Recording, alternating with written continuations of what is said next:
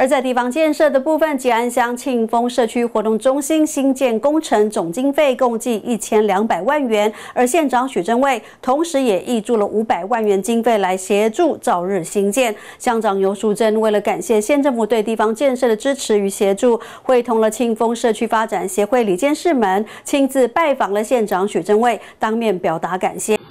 吉安县长余淑珍与庆丰村社区发展协会李监事共计三十位社区乡亲前来拜访县长许正卫，并且表达对社区活动中心经费挹注的感谢。余淑珍表示，这是庆丰村社区活动中心新建工程经费共计一千两百万元，与建地上一层集会场所，现今村里组织已经逐渐有行政转型为服务的取向，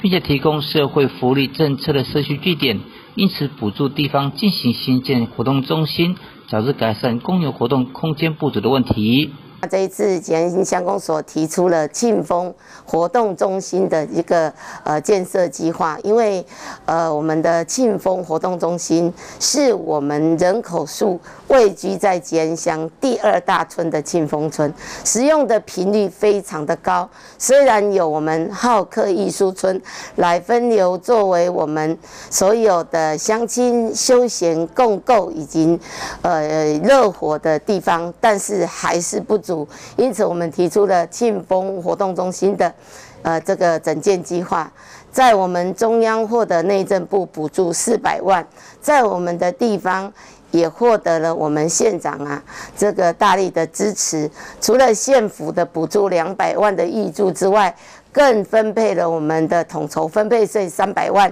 挹注在我们的这一次的建设里面。所以谢谢县长，总共挹注了五百万在吉安庆丰社区活动中心的一个呃建设跟建制。那这个总经费呢，原是一千两百万，但是因为呃这个建材的一个改变，防疫之后。物料的缺乏跟人力上的配置，所以呢，也增加了一些我们在未来建设上面的一个场地的呃费用跟这样的一个编列上再补足，必须要再补充的地方哈。所以我相信四性的建设有很多的考验跟很多不定性的因素会产生，但是。我们相信县乡协力永远会带给吉安乡跟所有的乡亲最自信的、最安全的、最热火的一个场地来作为使用。